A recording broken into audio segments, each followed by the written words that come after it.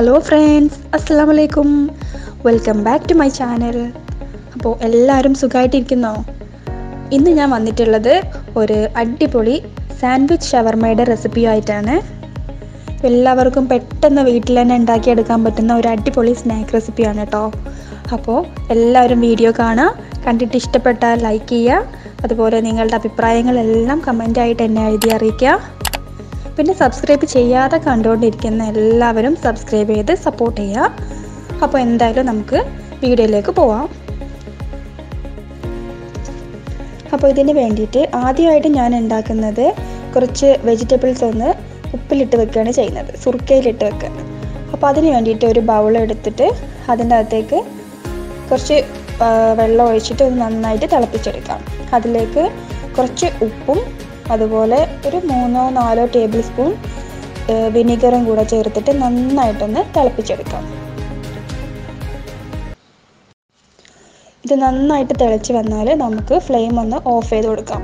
എന്നിട്ട് ഈ വെള്ളത്തിനെ നമുക്കൊന്ന് നന്നായിട്ട് ചൂടാറി കിട്ടാനായിട്ട് മാറ്റി വെക്കാം ഇപ്പോൾ ഇത് നന്നായിട്ട് ചൂടാറിയിട്ട് വന്നിട്ടുണ്ട്. അപ്പോൾ അതിലേക്ക് ഞാൻ കുറച്ച് ക്യാരറ്റ് നീളത്തിൽ കട്ട് ചെയ്തതും അതുപോലെ കുറച്ച് കുക്കുംബർ നീളത്തിൽ കട്ട് ചെയ്തതും ചേർത്ത് കൊടുത്തിട്ടുണ്ട്. ഇനി ഈ ഒരു പ്രോസസ്സ് നമുക്ക് ഫുഡ് ഉണ്ടാക്കുന്നതിന്റെ ഒരു ഒന്നോ രണ്ടോ മണിക്കൂർ മുന്നായിട്ട് ചെയ്താൽ മതി. ഇനി അതല്ലാന്നുണ്ടെങ്കിൽ ഒരു ദിവസം മുന്നേ ചെയ്ത് വെച്ചാലും കുഴപ്പമൊന്നുമില്ല. പക്ഷെ കൂടുതൽ ദിവസം മുന്നേ ചെയ്ത് വെക്കരുത്. അപ്പോൾ അതിന്റെ ടേസ്റ്റ് അങ്ങ് മാറിപ്പോകും. ഇനി ഇതിലേക്ക് ഞാൻ ചെയ്യാൻ പോകുന്നത് ചിക്കൻ ഒന്ന് മാരിനേറ്റ് ചെയ്ത് വെക്കുക എന്നുള്ളതാണ്. അപ്പോൾ അതിനായിട്ട് ഒരു പ്ലേറ്റ് എടുത്തിട്ടുണ്ട്. അതിലേക്ക് അര ടീസ്പൂൺ ക്ലോവ്സിന്റെ പൗഡർ ചേർത്ത് കൊടുത്തു. ഇനി ഒരു അര ടീസ്പൂൺ സിനമൺ പൗഡർ ചേർത്ത് കൊടുക്കുകയാണ്. ഇനി ഒരു ടീസ്പൂൺ കുരുമുളക് പൊടി അതുപോലെ ഒരു അര ടീസ്പൂൺ വലിയ ജീരകത്തിന്റെ പൊടിയും കൂടെ ചേർത്ത് കൊടുത്തിട്ടുണ്ട്.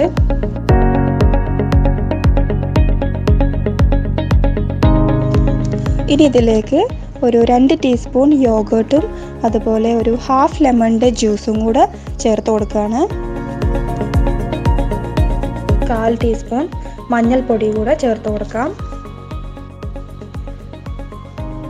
ഇനി ഒരു കളറിന് വേണ്ടിയിട്ട് കുറച്ച് കാശ്മീരി മുളക് പൊടി ചേർത്ത് കൊടുക്കാം. ഞാൻ ഒരു ടീസ്പൂണാണ് ചേർത്ത് കൊടുത്തിട്ടുള്ളത്. ഇനി ഇതിന്റെ പകരം പാപ്രിക്ക പൗഡർ ഉണ്ടെങ്കിൽ അതായാലും കുഴപ്പമില്ല. പിന്നെ ഇനി ചേർത്ത് കൊടുക്കുന്നത് നമ്മൾ ചിക്കനാണ് ഇത് ഞാനൊരു ഇരുന്നൂറ്റമ്പത് ഗ്രാം ചിക്കനാണ് എടുത്തിട്ടുള്ളത്. അതിന്റെ ചെറുതായിട്ട് കനം കുറഞ്ഞ് നീളത്തിൽ കട്ട് ചെയ്തെടുത്തിട്ടുള്ളതാണ്. നമ്മൾ ഷവർമ്മക്ക് വേണ്ടിയിട്ട് അങ്ങനെയാണ് കട്ട് ചെയ്തെടുക്കുന്നത്. അപ്പോൾ ആ ഒരു രീതിയിൽ ഇതിനെ കട്ട് ചെയ്തെടുക്കാം. ഇനി നമുക്കിതിലേക്ക് ആവശ്യത്തിനുള്ള ഉപ്പ് കൂടി ചേർത്ത് കൊടുക്കാം. എന്നിട്ട് നന്നായിട്ടൊന്ന് ഈ മസാല ചിക്കനും ഒന്ന് നന്നായിട്ടൊന്ന് മിക്സ് ചെയ്തിട്ടെടുക്കാം. ഇനി മിക്സ് ചെയ്ത് വെച്ചതിന് ശേഷം സമയമുണ്ടെങ്കിൽ ഒരു അരമണിക്കൂർ വരെ നമുക്കിതിനെ റെസ്റ്റിന് വെക്കാം. ഇനി റെസ്റ്റിന് വെച്ചില്ല എന്ന് വെച്ചാൽ കുഴപ്പമൊന്നുമില്ല. സമയമില്ല എന്നുണ്ടെങ്കിൽ പെട്ടെന്ന് തന്നെ നമുക്ക് ഫ്രൈ ചെയ്തെടുക്കാം. ചെറുതായിട്ട് കട്ട് ചെയ്തതായതുകൊണ്ട് കുഴപ്പമൊന്നുമില്ല.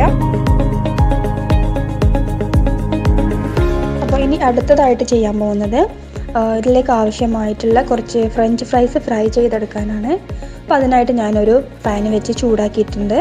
അതിലേക്ക് ആവശ്യത്തിനുള്ള ഓയിൽ ഒഴിച്ച് കൊടുത്തിട്ട് നന്നായിട്ടൊന്ന് ചൂടായി വരുന്നത് വരെ വെയിറ്റ് ചെയ്യാം.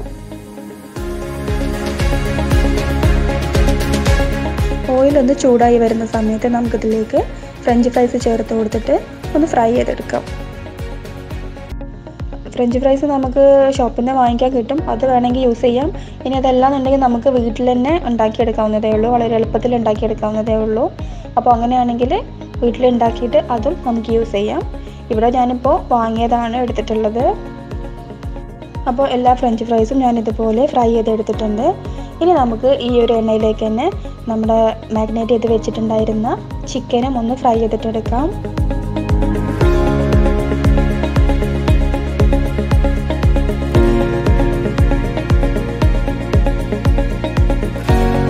ഇപ്പോൾ ഞാനിവിടെ എല്ലാ ചിക്കനും ഇതുപോലെ ഫ്രൈ ചെയ്തെടുത്തിട്ടുണ്ട്. ഇനി അടുത്തതായിട്ട് ചെയ്യാൻ പോകുന്നത് നമുക്ക് കുറച്ച് ഷവർമ്മ സോസ് ഉണ്ടാക്കിയെടുക്കുക എന്നുള്ളതാണ് അപ്പോൾ അതിനായിട്ട് ഞാനൊരു മിക്സിയുടെ ജാർ എടുത്തിട്ടുണ്ട്. അതിലേക്കൊരു അര ടീസ്പൂൺ ഗാർലിക് പേസ്റ്റ് ചേർത്ത് കൊടുത്തിട്ടുണ്ട്. ഇനി ഗാർലിക് തന്നെ ചേർത്ത് കൊടുത്താലും കുഴപ്പമൊന്നുമില്ല. ഞാൻ പേസ്റ്റ് ഉള്ളതുകൊണ്ട് അത് ചേർത്ത് കൊടുത്തതേ ഉള്ളൂ. ഇനി അതിലേക്ക് ഒരല്പം പുതിന ഇലയും അതുപോലെ ഒരു രണ്ടോ മൂന്നോ ടീസ്പൂൺ യോഗട്ടും ചേർത്ത് കൊടുക്കാം. നല്ല പുളി ഉള്ളതാണെന്നുണ്ടെങ്കിൽ കുറച്ച് ചേർത്താൽ മതിയാവും കേട്ടോ. ഇവിടെ പുളി കുറഞ്ഞതായതുകൊണ്ട് ഞാനൊരു മൂന്ന് ടീസ്പൂൺ ചേർത്ത് കൊടുത്തിട്ടുണ്ട്. ഇനി ഇതിലേക്കൊരു കളറിന് വേണ്ടിയിട്ട് കുറച്ച് കാശ്മീരി മുളക് പൊടി ചേർത്തിട്ടുണ്ട്. ഇവിടെയും നിങ്ങൾക്ക് പാപ്രിക്ക പൗഡർ കയ്യിലുണ്ടെങ്കിൽ അത് യൂസ് ചെയ്താൽ മതി. പിന്നെ ആവശ്യത്തിനുള്ള ഉപ്പും കൂടെ ചേർത്ത് കൊടുക്കാം.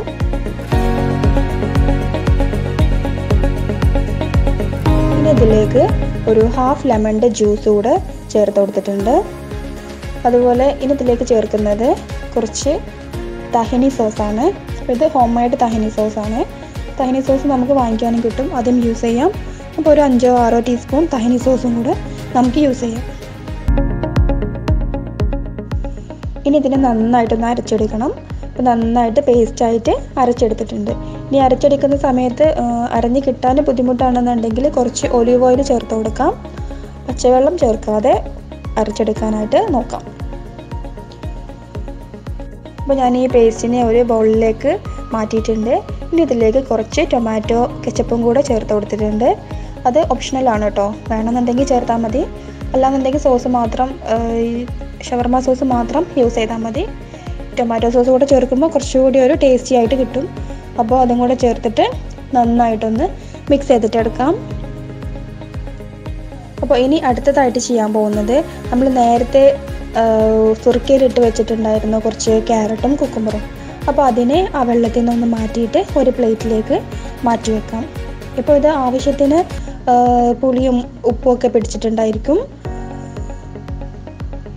നന്നായിട്ട് പുളിയൊക്കെ വേണമെന്നുണ്ടെങ്കിൽ നമുക്ക് ഒരു ദിവസം മുന്നേ വേണമെങ്കിൽ ഇങ്ങനെ ചെയ്തു വെക്കാവുന്നതാണ്. അപ്പം ഞാൻ എല്ലാം ഇതുപോലെ പ്ലേറ്റിലേക്ക് മാറ്റി വെച്ചിട്ടുണ്ട്.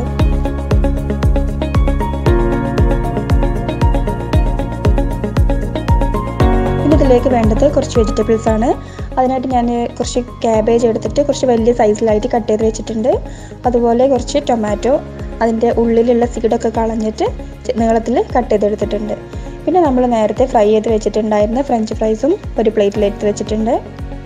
അപ്പോൾ ഇനി നമ്മൾ നമ്മുടെ സാൻഡ്വിച്ച് ഉണ്ടാക്കാനായിട്ട് തുടങ്ങുകയാണ്.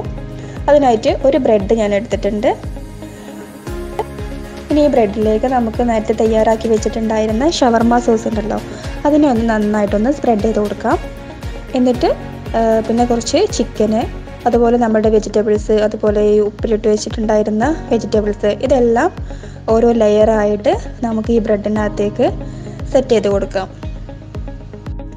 ഇങ്ങനെ ചെയ്യുമ്പോൾ എല്ലാ വെജിറ്റബിൾസും അതുപോലെ ഫ്രഞ്ച് ഫ്രൈസും ഒക്കെ ഒരു രണ്ടോ മൂന്നോ പീസ് വെച്ച് കൊടുത്താൽ മതിയാവും. കാരണം ബ്രെഡ് ആയതുകൊണ്ട് തന്നെ കൂടുതലൊന്നും അതിനകത്ത് നമുക്ക് വെക്കാൻ പറ്റില്ല അപ്പോൾ ഞാനിവിടെ എല്ലാം റെഡി ആക്കിയിട്ടുണ്ട്.